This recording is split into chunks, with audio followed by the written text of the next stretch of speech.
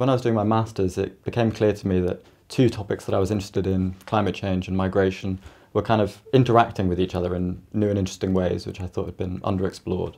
This is really an emerging public policy issue, and I'm hopeful, um, at least, that some of my research might help policymakers and the public to reflect on the moral values that underlie our response to migration and displacement relating to climate change.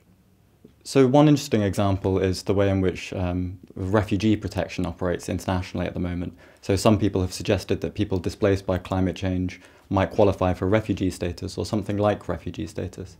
But a lot of cases of climate-related migration look quite unlike familiar cases of refugee movement. Um, for example, they're resulting from slow onset environmental changes like drought and sea level rise, and perhaps they're internal. So it's an interesting question to think about um, what the kind of moral grounding of the refugee regime is and whether that might also apply to people displaced by climate change.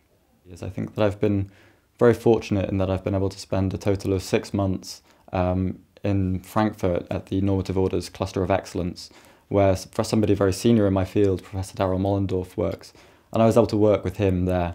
And that was really a fantastic opportunity that I don't think I would have had had it not been for the connections between Reading's Centre for Climate and Justice and the climate justice community more broadly. Reading's provided a whole host of opportunities to me. Um, in particular, amongst the PhD students, there's really great overlap between politics and philosophy, and we've um, I've been involved in a reading group, Reading Ethics and Political Philosophy, and several conferences that have been organised under that. Um, but also Reading's been a, an incredibly supportive place to do a PhD. My supervisors have been fantastic.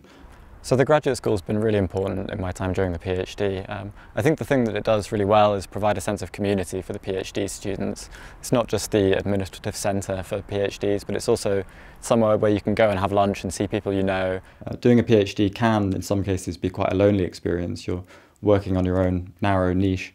Um, and I think it's really important that the graduate school's been able to um, create a community of researchers. Ideally, in, in five years' time, um, I'd be still working in academia in a job that would allow me to do both research, which I've really enjoyed throughout the PhD, but also teaching, which I've, I've come to really like as well.